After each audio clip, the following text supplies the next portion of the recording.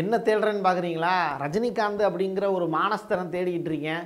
விழுந்தேன். அடிக்காதீங்க அடிக்காதீங்கன்னு எல்லாரு காலையும் விழுந்தேன். ஆனால் ஒரு பைய கேட்கலையே அப்படிங்கிற மாதிரி ரஜினிகாந்த் இமயமலை போகிறேன் அப்படிங்கிற பேரில் நேரடியாக யோகி ஆதித்யநாத்தை போய் பார்த்து அவர் காலில் போய் விழுந்து அந்த யோகி ஆதித்யநாத்லாம் வந்து ஒரு அவர் வந்து ஒரு எப்படிப்பட்ட ஒரு மனுஷன் உங்களுக்கே தெரியும். ஒரு சாமியார் வேடத்தில் வந்து ஏகப்பட்ட வேலைகள் வந்து செஞ்சுக்கிட்டு இருக்காப்புல.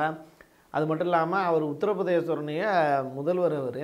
ஒரு அரசியல்வாதியினுடைய காலில் போய் உழுகுறங்க அப்படின்னா நீங்கள் இப்போ பாஜகக்காரங்க அப்படிங்கிறத நீங்கள் ஓப்பன் ஸ்டேட்மெண்ட்டாக ஒத்துக்கிறீங்கல்ல அப்போது பாஜகவினுடைய காலை பிடிச்சி விடக்கூடிய ரஜினிகாந்த்னு சொன்னோம் அப்படின்னா ரஜினி ரசிகர்கள்லாம் கோவப்படுவீங்க.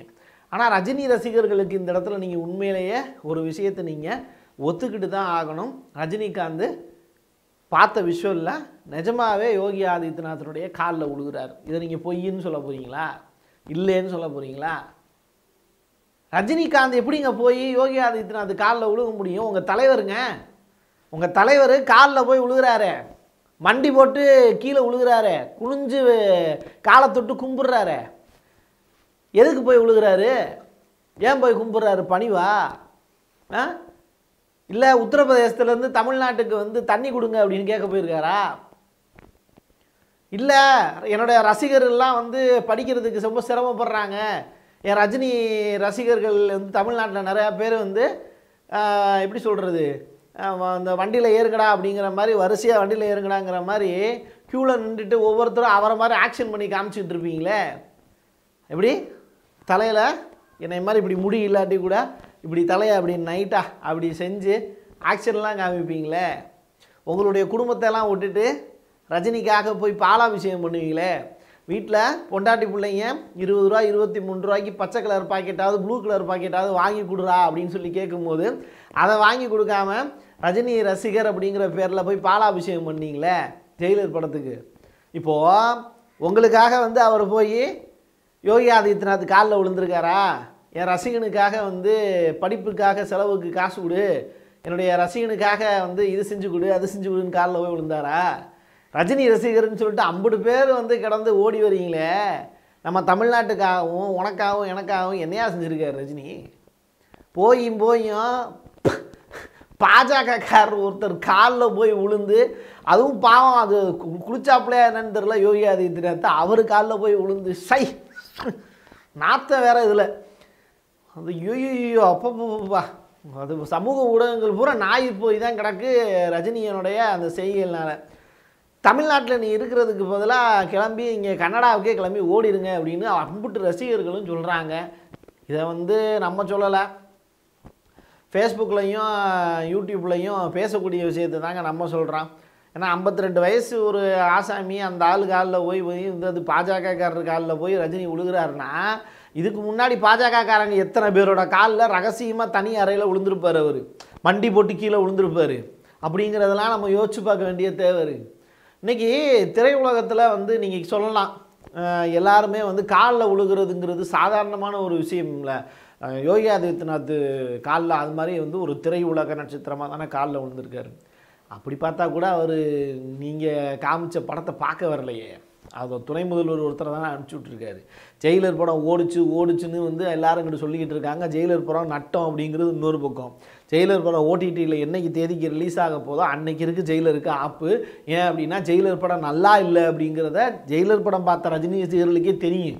இது நல்லா இல்லை படம் நல்லா இல்லை. ஆனாலும் தூக்கி வச்சு ரஜினிக்கு காசு வரணுங்கிறதுக்காக கொண்டாடிக்கிட்டு இருக்கீங்க. அந்த காசுலேருந்து ஒரு ரூபா உங்கள் குடும்பத்துக்காகவோ இல்லை ஒரு ரூபா வந்து உங்கள் வீட்டு பிள்ளைகளுடைய படிப்புக்காகவோ அவர் செலவு பண்ண போகிறாரா நான் ஒரு பன்னெண்டு வருஷமாக மீடியா ஃபீல்டில் இருக்கோம். இப்படி ஒரு முட்டாள்தனமான ஒரு ரசிகர்களை நான் இது வரைக்கும் என் வாழ்க்கையில் பார்த்ததே கிடையாது. ரஜினி ரசிகர்கள்லாம் பெரிய புத்திசாலி. நான் சின்ன வயசில் வந்து நான் பாட்சா படம் பார்த்து அஞ்சாம் கிளாஸ் படிக்கும்போது கை தட்டி ரசித்தேனேன்னு சொல்லிட்டு பார்க்கும்போது ரொம்ப கேவலமாக இருக்குது எனக்கு.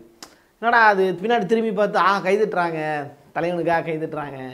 வந்து ஆண்டனி மார்க் ஆண்டனி அப்படின்னு சொன்ன உடனே எந்திரிச்சு வந்து தூக்கி போட்டு மிதிக்கும் போது வந்து ஆகா சேரே சேரே பறந்துருச்சு. அவனே கீழே விழுந்துட்டான். பின்னிட்டாருப்பா ரஜினி. பாட்ஷா பாட்ஷா நடந்து வரும்போதெல்லாம் சிலிர்த்து போய் சில்லறைனா சிதற விட்டேன்.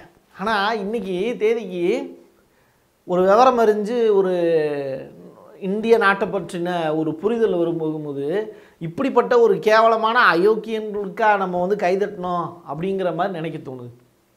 ஒரு சுயமரியாதை அப்படிங்கிற ஒரு விஷயத்தையே இழந்துட்டு பணத்துக்காகவும் பதவிக்காகவும் பகட்டுக்காகவும் போய் இன்னொருத்தனோட காலை பிடிச்சி கெஞ்சுறீங்களே கிடந்து. என் படத்தை பார்க்க வாங்க என் படத்தை பார்க்க வாங்க என் படத்தை பார்க்க வாங்கன்னு இப்படி ஒரு அவமான சின்னத்தை போய் தமிழ்நாட்டில் இருக்கக்கூடிய ரசிகர்கள்லாம் தூக்கி வச்சு கொண்டாடுறாங்கும் போது இந்த தமிழனுக்கு மானமும் ஈனமும் வெக்கமும் எதுவுமே இல்லை அப்படிங்கிறது வெட்ட வெளிச்சமாக தெரியுது.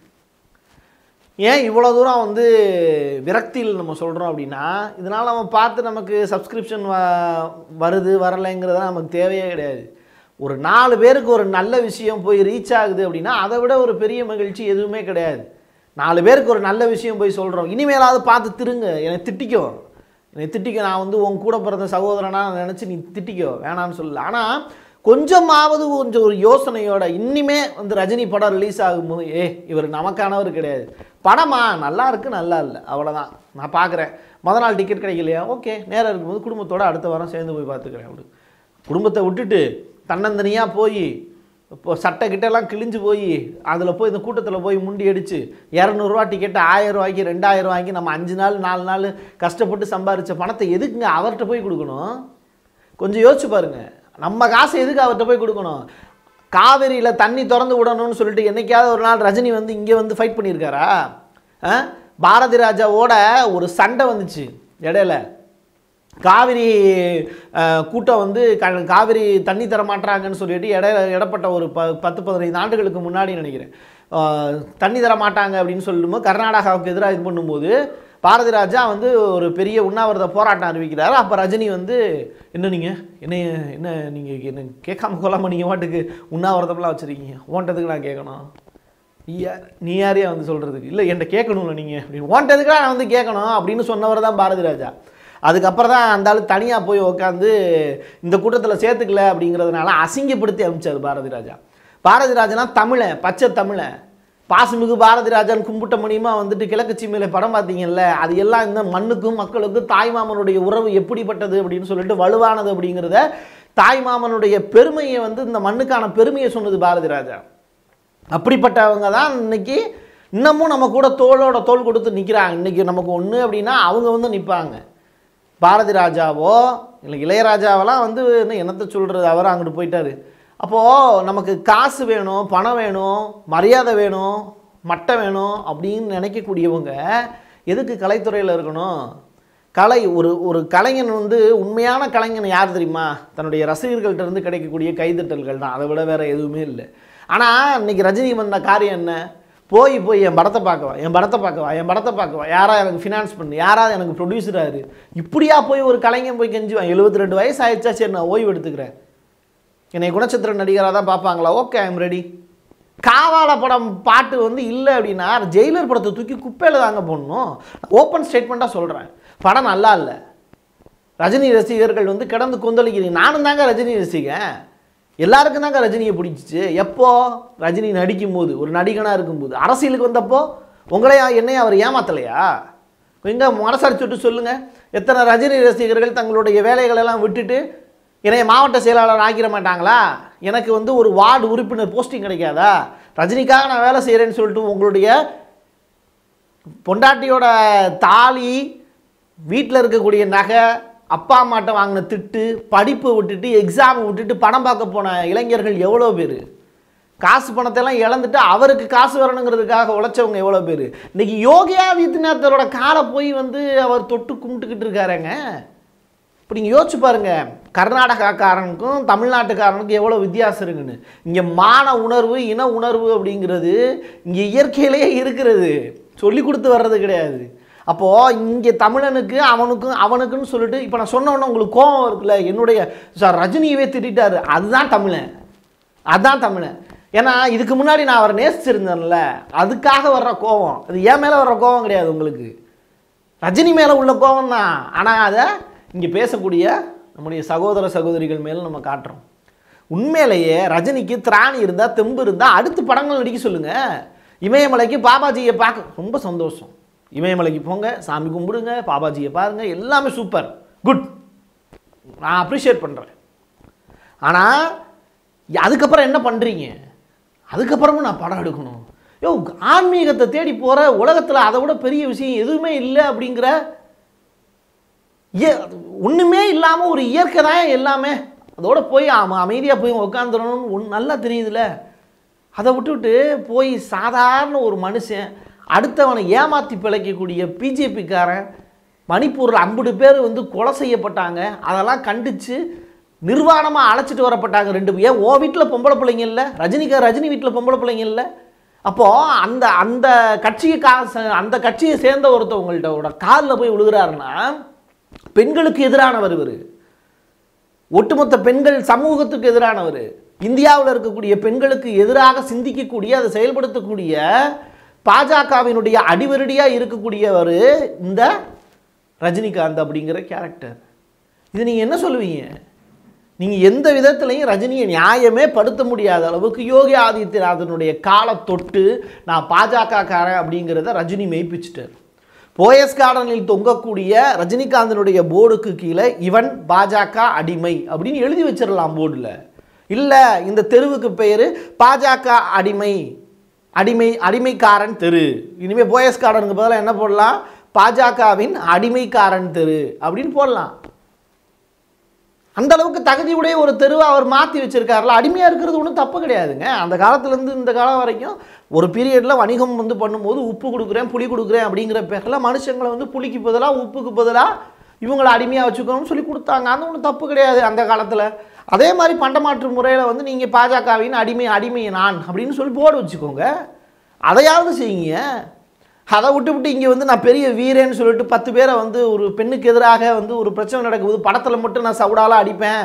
அதை விட்டுட்டு மணிப்பூரில் ஒரு பிரச்சனை நடக்கும்போது நான் குரல் கொடுக்க மாட்டேன். மாறாக மணிப்பூர் பஞ்சாயத்தில் அந்த பெண்களை வந்து நிர்வாணப்படுத்தினப்போ எந்த விதமான பதிலும் சொல்லாமல் அதை பற்றி நாடாளுமன்றத்தில் கிண்டலும் கேலியும் செய்த மோடியினுடைய அடிவருடியாக இருக்கக்கூடிய உத்தரப்பிரதேசத்தினுடைய முதல்வர் யோகி ஆதித்யநாத்தினுடைய காலை வருடர் ரஜினிக்கு எந்த விதமான மரியாதையும் கிடையாது. அவர் தமிழனும் கிடையாது. அவர் வந்து ஒரு கன்னடியர். அவர் ஒரு கன்னடாக்காரரு. கன்னடக்காரருக்கு தமிழ்நாட்டில் இடம் கிடையாது. இந்த வார்த்தையை மையப்படுத்தி அடுத்து நீங்கள் ட்ரெண்டாக்குங்க பார்ப்போம். கன்னடாக்காரருக்கு தமிழ்நாட்டில் என்ன வேலை? காவிரி தண்ணி தர மாட்டேங்கிறாங்க. அப்போது கர்நாடகாவில் இருக்கிறவங்களுக்கு இங்கே என்ன வேலை? அவங்கவுங்க ஊருக்கு அவங்கவுங்கள போக சொல்லுங்க. அப்படிங்கிற வார்த்தையை நம்ம சொல்கிறதுக்கு நமக்கு ரைட்ஸ் கிடையாது. எல்லோரும் எல்லா நாட்டிலையும் போய் எல்லா மாநிலத்திலையும் போய் வாழ்ந்துக்கலாம். நீங்கள் வந்து சட்டம் பேசுவீங்க எல்லாம் ஓகே பட் ஒரே ஒரு விஷயம். ரஜினியினுடைய செயல் அப்படிங்கிறது வன்மையாக கண்டிக்கத்தக்கதா இல்லையா? இது உங்கள் நேரம். கமெண்ட் பாக்ஸ் ஓப்பனில் தான் இருக்குது பதில் போடுங்க. ஆனால் என் கையெழுத்து என் மக்களுக்கானது தான் என்னுடைய சகோதர சகோதரிகளுக்கானது தான் தொடர்ந்து பேசலாமா? நன்றி வணக்கம்.